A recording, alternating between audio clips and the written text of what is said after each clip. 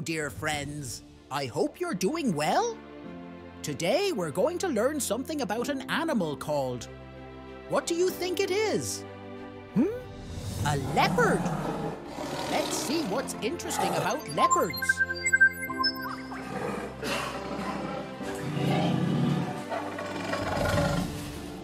Leopards are wild cats that can be found in different parts of the world, including Africa and Asia.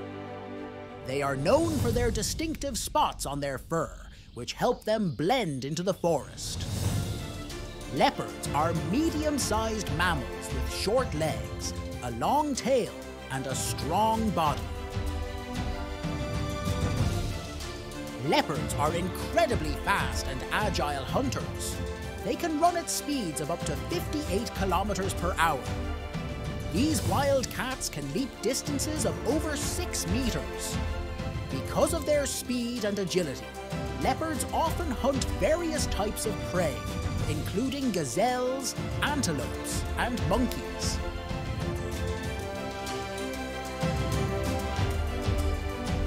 Leopards are nocturnal hunters, which means they primarily hunt at night.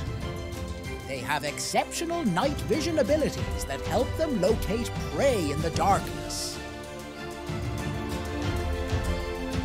The spots on a leopard's fur allow them to camouflage exceptionally well in the forest or tall grass.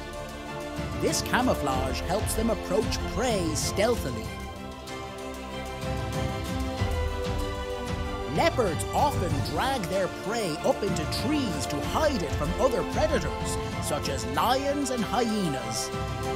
They have strong jaws that allow them to climb trees while carrying their prey with them.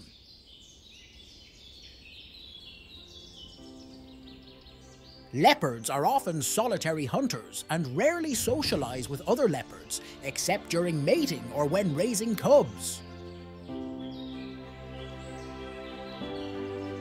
Leopards are often solitary hunters and rarely socialize with other leopards, except during mating or when raising cubs.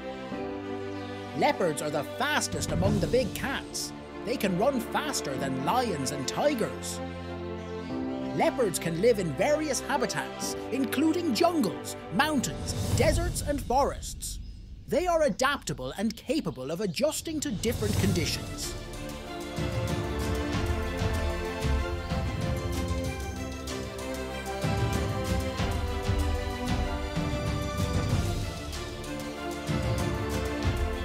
They take care of their cubs.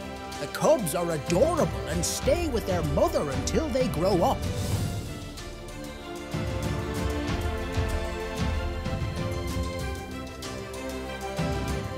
Leopards are exceptionally good climbers and can ascend trees or rocks to hide or find a better vantage point for a hunting attack.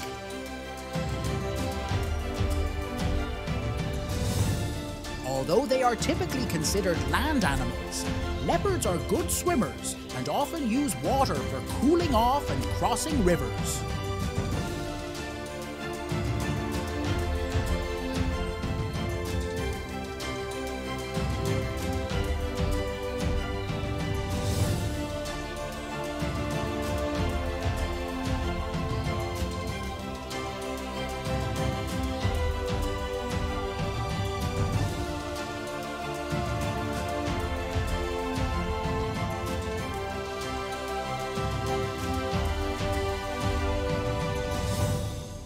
They are very intelligent hunters.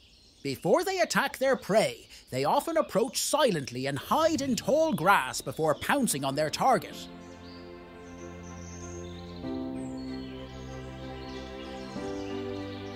The size of leopards can vary significantly depending on the subspecies and habitat. Leopards from Africa are typically smaller than those in Asia.